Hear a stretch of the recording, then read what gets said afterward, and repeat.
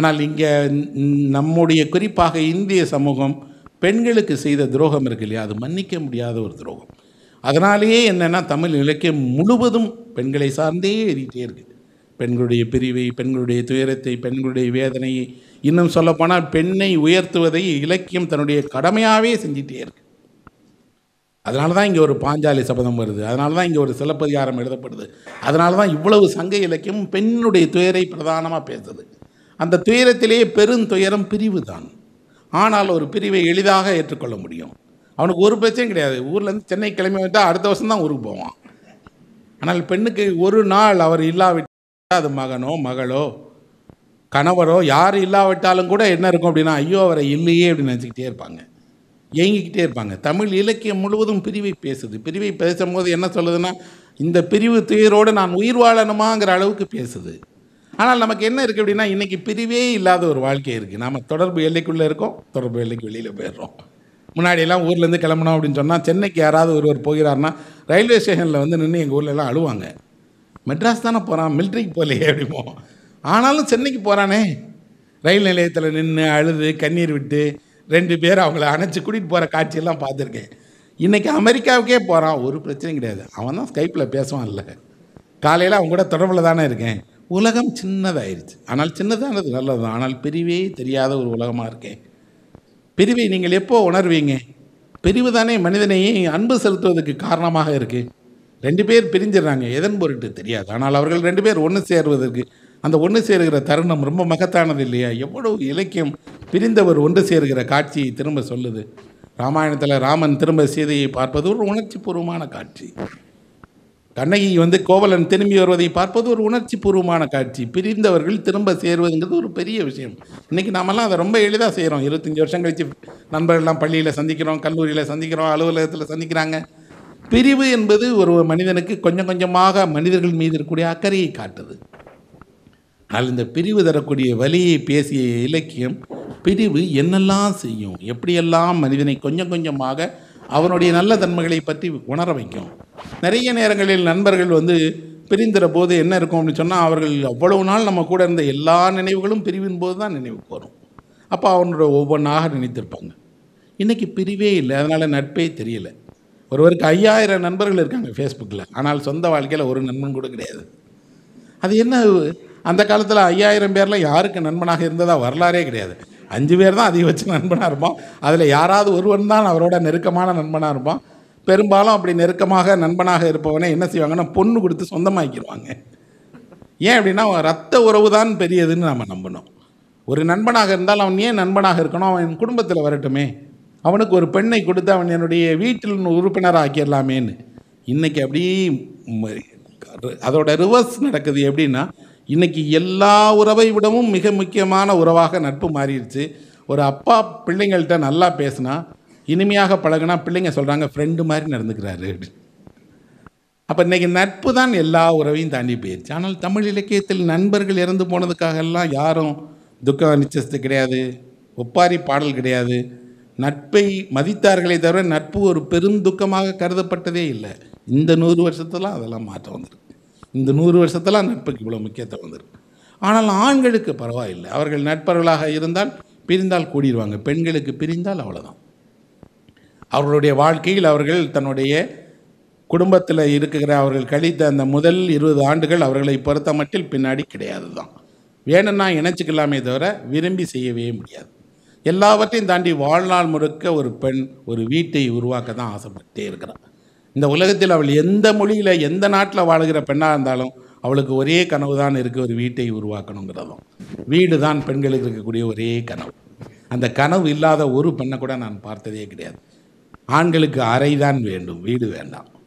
பெண்களுக்கு வீடு தான் வேணும் அறை வேண்டாம். ஆனால் ஒரு அறையை வீடாக மாற்றுவது பெண்களுக்கு மட்டும்தான் தெரியும். அது ஆணாக இருக்கும்போது அது அறையாகத்தான் இருக்கும். அதை ஒரு பெண் வந்தால் வீடாக மாற்றிடுவாள் அதெல்லாம் சொல்லுவேன். வெறும் செங் செங்கலும் வெறும் சிமெண்ட்டும் கட்டிய வீடை உயிருள்ளதாக மாற்றுவதற்கு பெண்ணுக்கு தான் தெரியும். அவள் வந்த பிறகுதான் அந்த வீடு உயிருள்ளதாக மாறுகிறது. ஆனால் அவள் விரும்புகிற வீடு என்பது ஒரு பொண்ணுக்கும் கிடைத்ததே கிடையாது. பெரும்பாலும் அந்த பெண்களுக்கு தீராத ஏக்கம் ஏதாவது இருக்குன்னா அது நான் விரும்புகிற வீடு எனக்கு கிடைக்கலைங்கிறதும். அவர்கள் விரும்பி ஒரு வேளை வீடு கட்டணும் விரும்பி கட்டியிருந்தா கூட அந்த வீட்டில் அவளுக்கு ஒரு அறை இருக்காது. அவளுக்கு அந்த ஒரு தனி இடம் இருக்காது. நூற்றாண்டுகளாக இந்த பெண்கள் ஒரே விஷயத்துக்கு குரல் கொடுத்துட்டே இருக்காங்க எனக்கு ஒரே ஒரு இடம் வேணும். நான் ஒரு கதை எழுதினேன் அவளுக்கு என்று ஒரு வீடுன்னு ஒரு கதை எழுதினேன். ஒரு பொண்ணு அலுவலகத்தில் வேலை பார்க்குற பொண்ணு. அவள் சொந்த வீடு வைத்திருக்கிறா. புறநகரில் தாம்பரத்துக்கு பக்கத்தில் வீடு கட்டியிருக்கிறா. வீடு கட்டணுங்கிறதா அவளுடைய திருமணத்துக்கு முந்தைய ஆசை. அதனாலேயே கல்யாணம் பண்ணும்போது அவங்க என்ன பண்ணாங்கன்னா மாப்பிள்ளைக்கு சொந்த வீடு இருக்கான்னு பார்த்து தான் அவள் கல்யாணம் பண்ணான் ஆனால் சொந்த வீடு இருந்தது ஆனால் அந்த வீட்டில் கூட்டு குடும்பம். அதனால் அப்போ கூட அந்த வீடு அவளுடைய வீடு இல்லைன்னு நினச்சான் கணவனை வெளியே வர வச்சு அவனோட தனியாக வாழ்ந்து வாடகை வீட்டில் இருந்து லோன் போட்டு ஒரு வீடு கட்ட முடியும். அதுவும் இந்த மாதிரி ஒரு மத்திய தர வர்க்கத்தில் எங்கே வீடு கட்ட முடியும்? தாம்பரத்தை தாண்டி எங்கோ ஒரு இடத்துல அவர் ஒரு சின்ன வீடு ஒரு அப்பார்ட்மெண்ட் வச்சுருக்காங்க.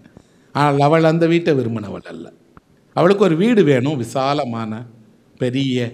இன்னும் சொல்லப்போனால் அவள் விரும்பியவர்களை எல்லாம் வந்து தங்க வைப்பதற்கான அறைகள் கொண்ட வீடு வேணும். கிடைக்கல. அதனால் அவள் சொந்த வீடு இருந்தாலும் ஒரு பழக்கம் வச்சுருப்பா. டெய்லி பேப்பரில் வரக்கூடிய எல்லா வாடகை வீட்டையும் விளம்பரத்தை பார்ப்பா. அந்த வீட்டுக்கு போவா. அந்த வீட்டை பார்ப்பா. நம்ம குடியிருக்கிறோமோ இல்லையோ பார்க்கலாம் தானே. அவளுக்கு அது ஒரு பொழுதுபோக்கு. தினம் ஒரு அட்ரஸ் எடுத்துகிட்டு போய் அந்த அட்ரஸில் பார்ப்பா அந்த வீடு பிடிச்சிருந்துச்சின்னா பொய் சொல்லுவாள் நாங்கள் சிங்கப்பூர்லேருந்து இப்போ தான் வந்திருக்கிறோம். இந்த வீடு நல்லா இருக்குது வாடகை கிடைக்குமான்னு கேட்பா சில சமயம் அந்த வீட்டில் வந்து அவங்க கொஞ்ச நேரம் தங்க அனுமதிப்பார்கள் இல்லையா? அந்த கொஞ்ச நேரம் தங்கி அந்த அறையில் அந்த வாழ்ந்த சந்தோஷத்தை அடைஞ்சிட்டு சாவி கொடுத்துட்டு போயிடுவான் ஒரு நாள் அப்படியே ஒரு வீடை பார்க்குறான் அந்த வீடு ஒரு டான்ஸருடைய வீடு. அவ்வளவு பொருட்களும் கலை அலங்காரத்தோடு பண்ணப்பட்டிருக்கு. டான்ஸர் வெளிநாட்டுக்கு போயிட்டதுனால வாடகைக்கு விடுறாங்க. அந்த வீட்டை அவள் பார்த்த உடனே தோணும் வீட்டில் உள்ள ஒரு பெரிய ஊஞ்சல் கண்ணாடி பதித்த ஊஞ்சல். இன்னும் சொல்லப்போனால் சுவரெல்லாம் பூரா அலங்கார ஓவியங்கள். வீட்டில் இருக்கக்கூடிய பெரிய பாத் டப் இது உட்பட இருக்கக்கூடிய ஒரு அழகான வீடு. அவளுக்கு உள்ளுக்குள்ளே அப்படியே துடிக்கும் இதை வாடகைக்கு எடுத்துடலாமே அப்படின்னு. ஆனால் எதுக்கு இந்த வீடு? ஆனால் கொஞ்சமும் யோசிக்காமல் கீழே வந்து சொல்லுவா நான் இந்த வீட்டை வாடகைக்கு எடுத்துக்கிறேன். வாடகைக்கு அவர் சொல்லுவார் நீங்கள் எங்கே இருக்கீங்க? கணவர் மதுரையில் இருக்காரு நான் இங்கே இருக்கிறேன். அவர் ட்ரான்ஸ்ஃபர் ஆகி வந்துடுவார் அது வரைக்கும் நான் எடுத்துக்கிறேன்னு வாங்கிடுவா. வாங்கிட்டு என்ன செய்வா அப்படின்னு சொன்னால் ஒன்றும் பண்ண மாட்டா. ஒரு பொருளும் அங்கே கொண்டு வர மாட்டா. ஒரே ஒரு பத்தி ஸ்டாண்ட் எடுத்துகிட்டு வருவா. ஒரு கட்டு பத்தி வாங்குவா. அந்த ஸ்டாண்டில் பத்தியை கொளுத்தி வச்சுட்டு அந்த பத்தி மனத்தில் ஊஞ்சலில் உட்காந்து ஆடிட்டு இருப்பாள் அலுவலகம் விட்ட நேரங்களில் அவள் அந்த வீட்டுக்கு வருவா. கொஞ்ச நேரம் பத்தியில் வந்து வச்சுருவா பிறகு ஒரு நாள் அவளுக்கு பிடித்தமான ஒரு கேசட் பிளேயர் எடுத்துகிட்டு வருவா. பாட்டு கேட்பா. அலுவலகம் ஐந்து மணிக்கு முடிஞ்சுன்னா ஒரு மணி நேரம் அந்த வீட்டில் செலவிடுவா. ஆறு மணிக்கு திரும்பி அவள் ஸ்கூட்டி எடுத்துகிட்டு எதுவும் தெரியாத போல் வீட்டுக்கு போயிடுவா. இவளுக்கு இப்படி ஒரு உலகம் இருக்குன்னு அவங்க வீட்டில் யாருக்கும் தெரியாது. அந்த வாடகை கொடுக்கறதுக்காக கடன் வாங்கி வாடகை கொடுப்பான் ரெண்டு மாதம் கழித்து காலி பண்ணாலும் பரவாயில்ல ரெண்டு மாதம் நம்ம ஒரு வீடு வச்சுக்கலாமே. ஒரு நாள் மகளிடம் வந்து சொல்லுவாள் மகளுக்கு இப்படி ஒரு விஷயம் காட்டலான்னு கூட்டிகிட்டு போய் காட்டுவா. காட்டின உடனே மகள் கேட்பா உனக்கு எதுக்கு இன்னொரு வீடு? இந்த வீட்டில் யார் இருக்கான்னு கேட்பான் என் நான் தாண்டி இருக்கிறேன். அப்படி நீ மட்டும் ஏன் இருக்கிறேன்னு? கேட்பான் ஏன் நான் மட்டும் இருக்கக்கூடாதா? உங்கள் அப்பா மதுரையில் வேலை பார்க்கும்போது உங்கள் அப்பா மட்டும்தானே இருந்தார்? நாமெல்லாம் போய் இருந்தோமா என்ன? ஒரு வீடு பிடிச்சி தானே உங்கள் அப்பா இருந்தார்? அப்போ யார் இருந்தால் உங்கள் அப்பா கூடன்னு கேட்பா ஒன்றுமே சொல்ல மாட்டான் மக. அன்னை இரவு வீட்டில் வந்து கணவர் சொல்லுவார் அந்த வீட்டில் எவன் கூட அடி இருக்க? அப்படின்னு. யார் கூடயும் இல்லைங்க நான் தான் இருக்கேன். நீ இருக்கிறதுக்கு உனக்கு எதுக்கு வீடுன்னு கேட்பார் ஏங்க நீங்கள் வேலைக்கு போகும்போது எல்லா ஊர்களிலும் ஒரு வீடு எடுத்து நீங்கள் மட்டும்தானே இருந்தீங்க? அப்போல்லாம் உங்களுக்கு வந்து அந்த வீடு தேவை இருக்குங்கிறது தானே உணர்ந்தீங்க. நான் அதை என்ன செய்ய போகிறேன் என் ஆசைக்காக செய்கிறேன்னா அந்த வீட்டை காலி பண்ணாட்டா இந்த வீட்டிலேருந்து நீ வெளியேறணும்னு சொல்கிறார் அவளுக்கு என்ன பண்ணன்னு தெரியல. அவராக அந்த வீட்டு சாவி வாங்கிட்டு வந்து அந்த வீட்டு ஓனர்கிட்ட போய் சண்டை போட்டு அட்வான்ஸை வாங்கிட்டு வந்து இவள்கிட்ட அந்த இவள் முன்னாடி அந்த பணத்தை கொடுத்துட்டு அவள் அவள்கிட்ட சொல்கிறார் இனிமேல் உன்னோட சம்பாத்தியம் அவ்வளோத்தையும் எனக்கு கொடுத்துடணும்.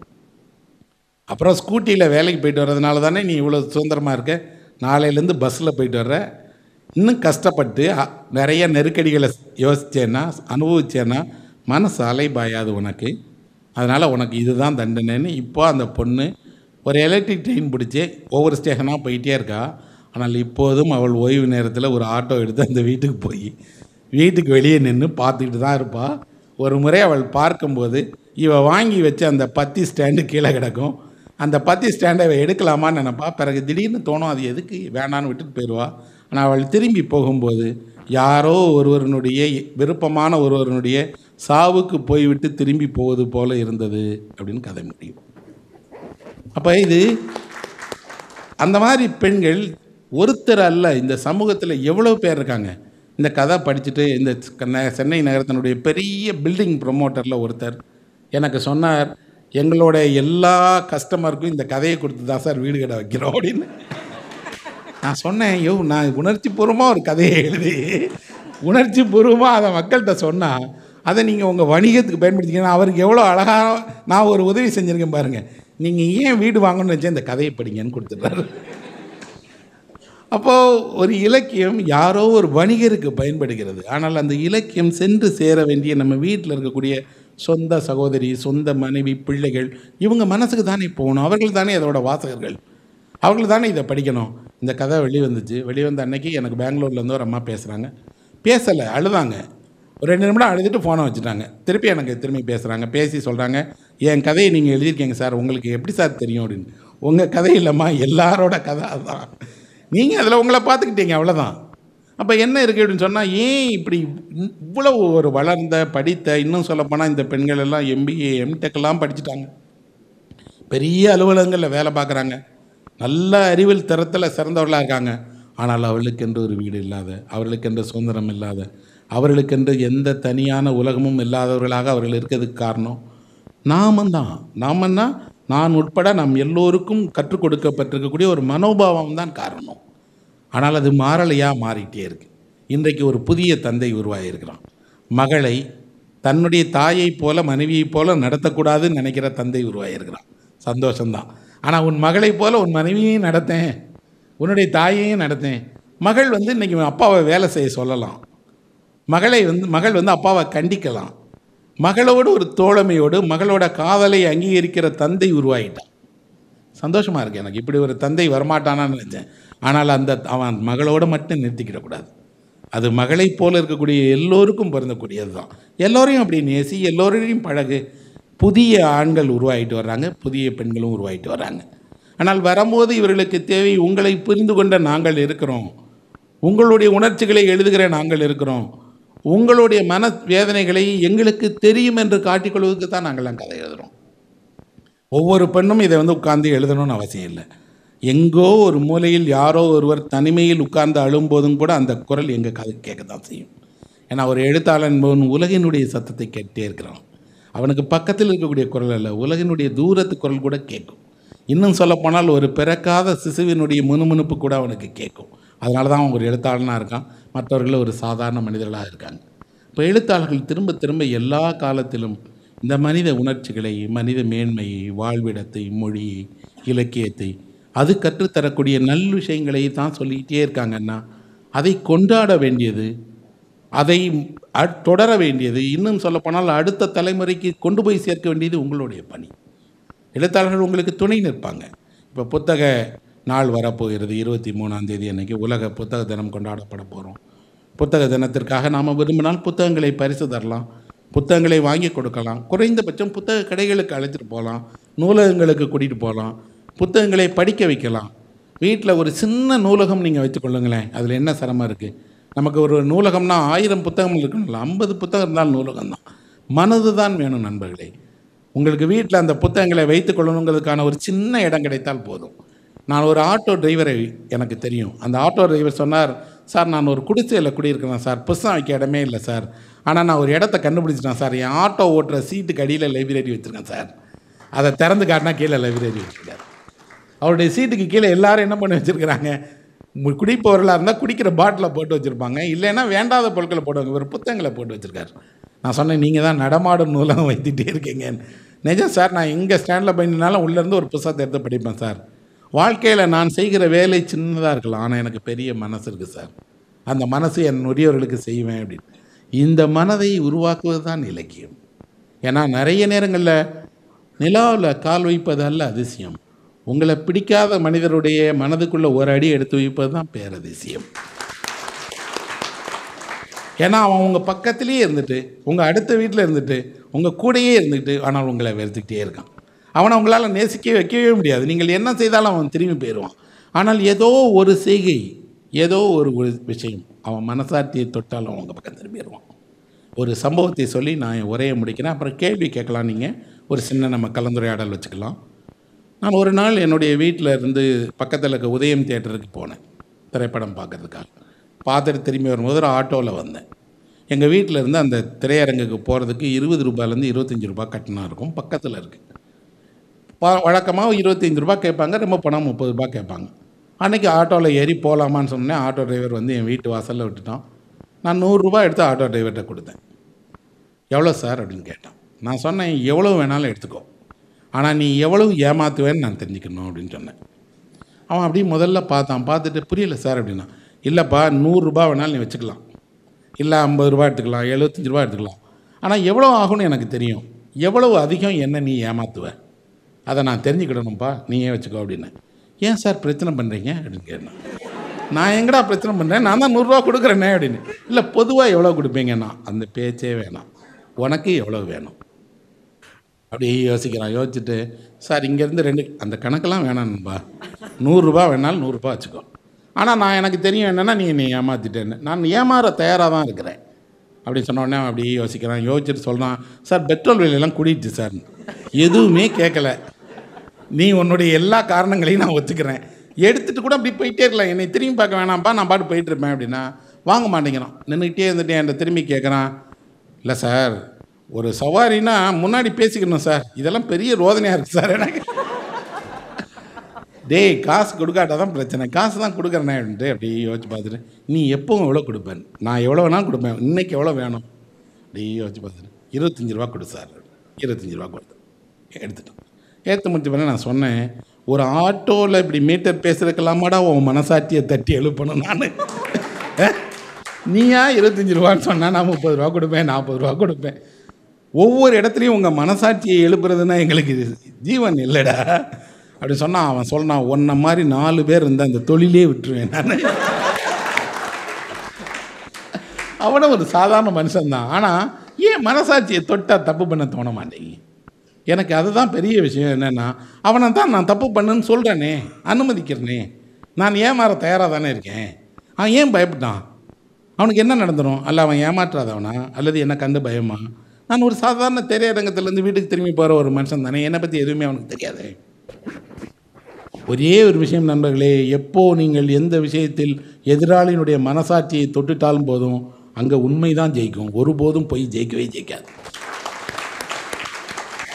இதைத்தான் காந்தி தன் வாழ்நாள் முழுவதும் செஞ்சார். என்னன்னா உங்கள் மனசாட்சியை தொட அவர் வாழ்நாள் முழுக்க முயன்றுக்கிட்டே இருந்தார்.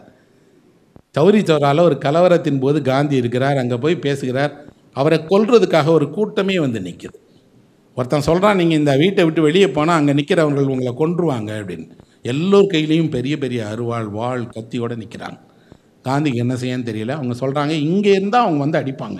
என்ன பண்ண போகிறீங்க இதை யார் வழி நடத்துகிறான்னு காந்தி கேட்குறாரு அங்கே ஒருத்தன் நிற்கிறான் பாருங்கள் பெரிய வாளோட அவன் தான் வழி நடத்துகிறான் அவனை மட்டும் நான் சொன்னேன்னு கூட்டிகிட்டு வா அப்படிங்கிறார். அவனை மட்டும் தனியாக கூட்டிகிட்டு வராங்க. காந்தி கிட்ட வந்த உடனே அவன் காந்தியை பார்த்து கேட்டான் என்ன? அப்படின்னு. தம்பி என்னை வீட்டுக்கு கொண்டு போய் சேர்க்க வேண்டிய பொறுப்பு உன்னோடது அப்படின்னு சொன்னார். சரிங்க சார் கூட்டிகிட்டு போய் வீட்டில் கொண்டு போய் பத்திரமா விட்டுட்டான். இந்த பொறுப்பை ஒருவேளை அவன் கையில் அவர் ஒப்படைக்காவிட்டால் அன்றைக்கு அவர் கொல்லப்பட்டிருப்பார். ஏன் உங்களை கொல்ல வருபவனிடம் உங்களை காப்பாற்ற வேண்டிய பொறுப்பை நீங்கள் ஒப்படைக்கிறீர்கள்னா அவன் மனசாட்சியை தொடுறீங்கன்னு அர்த்தம். அவன் மனசாட்சியை நீங்கள் தொட்டால் அந்த மனிதன் இன்னொரு மனிதனுக்கு தீங்கு இழைக்கவே மாட்டான். நிறைய நேரங்களில் எனக்கு தெரியும் சாதாரணமாக ஏமாற்றக்கூடியவன் கூட மனசாட்சிக்கு பயப்பட தான் செய்வான். அந்த மனசாட்சிக்கு பயப்படுவதோடு அவன் என்ன செய்வான்? அதை யாரும் தொட்டு விடக்கூடாதேன்னு அச்சப்படுவான். இல்லைன்னா உங்களை ஏமாத்திடுவாங்கிறது வேறு விஷயம்.